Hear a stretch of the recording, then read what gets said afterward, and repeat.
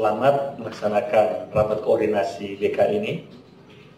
Saya berharap kegiatan ini bisa menyatukan uh, persepsi kita bersama mengenai uh, fungsi BK dan mengenai ini ada mengenai kode etik dan tata tertib juga tuh mengenai uh, penyusunan tata tertib dan kode etik supaya standarnya sama.